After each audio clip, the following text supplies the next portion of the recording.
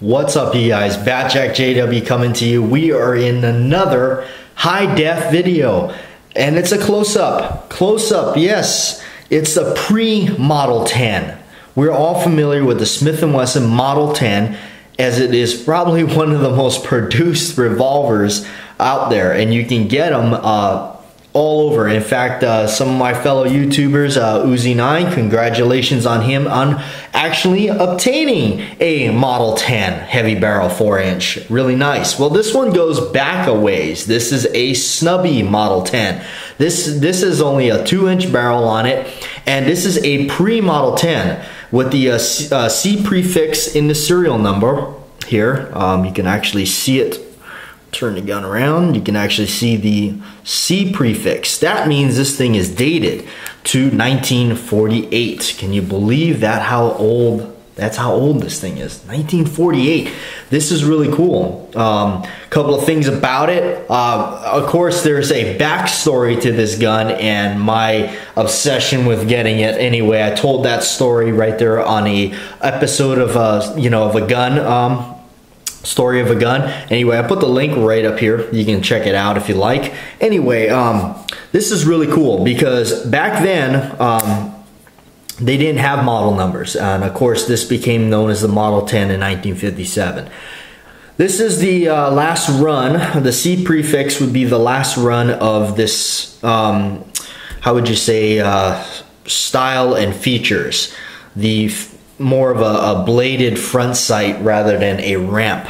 You can see it's just more of like a bladed, um, it's not like a ramp that's checkered. And um, the hammer is a little bit different. Uh, the hammer is a lot different than your your uh, Model 10. I do have a Model 10. It's a looks just like this. It's a Model 10-5. We'll bring that out in another video. But this one's all about that pre Model 10. This is known as the military and police post-war gun. Uh, this is really cool. Right after World War II, they started to make these things. Um, this has got the original grips. That was a big thing for me when I found it. Uh, it's got the diamonds on the grips, the diamond and the checkering, and they're in really good shape. Give you a nice close-up in HD of those grips. That is a beautiful part of this gun, that it had the original grips you know and if you I, I don't know how well it's going to show up in the video and do it justice but man they are beautifully charactered. They're worn. They you know they've darkened up over the years um, but uh, the gun is real smooth real tight. And uh, there will be something else uh, if you're looking at this side of the gun there's something else that you'll notice that may be different from your normal Smith & Wessons that you see and that is, if you notice, the, give you a second, uh, can you figure it out? All right, it's the, uh, the screw right here. So, wow, what is that? And uh, if you notice by the trigger guard, there's another one. This is known as what they call a five screw model. So uh, underneath the grip here, there's another screw. So you got one, two, three, four, five. Um, that's that's another indication that this this revolver is a little bit dated and goes back a ways and it's definitely a vintage Smith & Wesson double action revolver um, that is still uh, resembling what we uh, kind of recognize today in the market.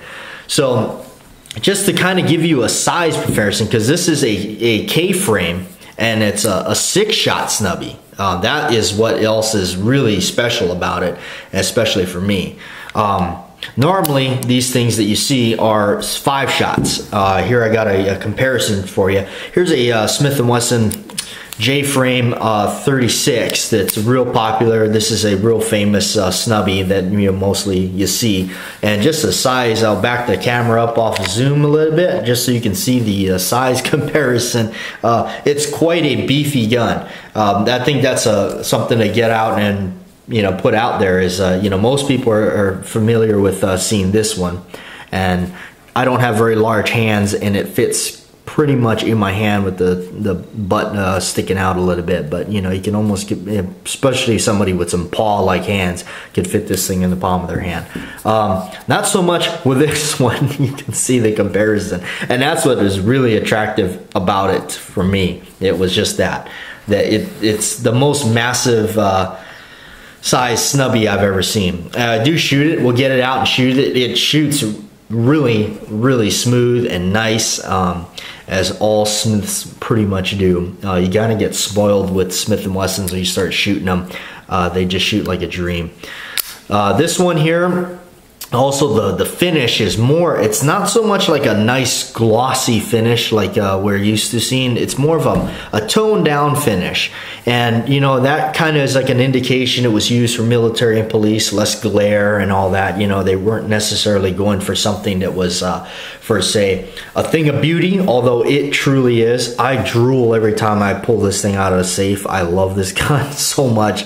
Anyway um, but yeah, it's kind of a, a, toned down finish. I don't know how much in a video that that serves justice, you know, to talk about it, but it is a lot more uh, toned down uh, in comparison. So it may not look it in the video, but it is. and uh, of course, I love the big Smith & Wesson logo right there on the side. There's no mistake that uh, what it is. And it, the interesting thing is um, this side of the barrel is uh, just plain. It's not stamped uh, like most are. Most are the caliber or something is stamped over there. Uh, the actual everything else, everything on it, uh, the name and trademark and the cartridge, everything is stamped on this side. So it's got the uh, pin barrel, the cross pin, and it's got the the rear sight's just like a trench sight, so it's not adjustable or anything. So there, give you a look at that. So anyway, I figured I'd throw this out, HD close up right there. Um, you know, frame uh, or hammer mounted uh, firing pin, of course, 1948. But that's cool that this is before the Model 10. This is a pre-Model 10. This is known as the uh, um, Smith & Wesson Military and Police, you know? So that's kind of neat. I wanted to show that off to you. It's a C prefix dating back to 1948. This is the last run of where they were to um, offer the uh, this type of sight and there's before they made the changes. And of course, I got the Model 10-5. I'll show you that in another close-up video and you'll see the changes in that. Anyway, I'm Batjac JW signing off for now. That's a close-up of this. Check out my other videos of the Model 10. I do have them up on the channel, but this one I wanted to do HD close-up right at you. Anyway, check out the story of a gun episode about this and everything. You'll see also the other Model 10. It's quite an interesting story. Anyway, signing off for now. Like, share, and subscribe.